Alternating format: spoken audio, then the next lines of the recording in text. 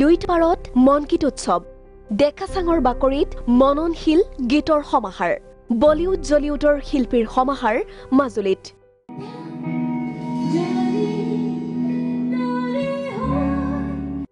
মননশীল মনকিতেৰে মুখৰিত হ'ল মাজুলীৰ লুইতৰ পাৰ।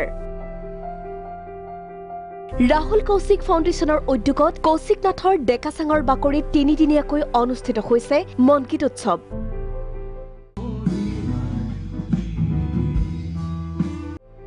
দ্বিতীয়বাৰৰ বাবে অনুষ্ঠিত মনকিত উৎসৱত সমাহাৰ ঘটিছে। বলিউডৰ প্ৰতিষ্ঠিত সংগীতজ্ঞ নিখিল পল জৰ্জৰ লগতে জয় বৰুৱা মৈত্ৰেয়ী শংকুৰাজ শাশ্বতী ফুকন আদি সংগীত শিল্পীৰ।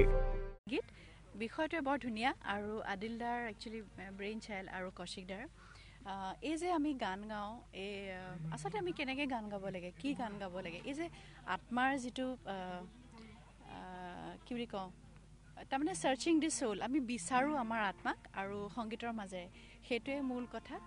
আৰু ধুনীয়াকৈ গান গোৱা শুদ্ধকৈ গান গোৱা আৰু তাতকৈ ডাঙৰ কথা নিজৰ কাৰণে গান গোৱা যিটো ৰাইজেও কানেক্ট কৰিব পাৰে বেলেগ এজনে কানেক্ট কৰিব পাৰে। তো সেইটোৱে ইয়াতে ল'ৰা ছোৱালীবোৰে শিকিছে। মননশীল গীত কবিতা চিত্ৰ সৃষ্টিয়ে মূল উদ্দেশ্য আছিল এই উৎসৱৰ।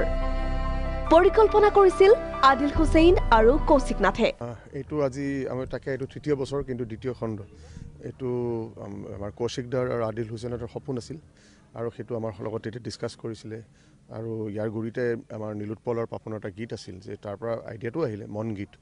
কথাটো হ'ল সেই যোনটো মই কৈছোঁ অলৰেডি অসম কেন্দ্ৰিক গান নতুন চাম যোনখিনি কৰিছে সেইখিনিক আমি অলপ বুজিবলৈ আগবঢ়াবলৈ কেইজনমান এষ্টাব্লিছ শিল্পী আহিছে।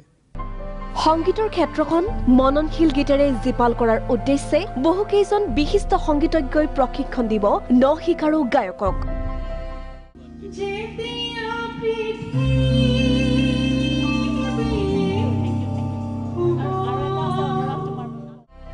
উপস্থিত থাকিব আদিল হুছেইন অংগৰাগ পাপন মহন্ত তৰালী শৰ্মাৰ দৰে অভিজ্ঞ শিল্পী। গীত মাতেৰে জীপাল হৈছে মাজুলীৰ শীতৰ সন্ধ্যা।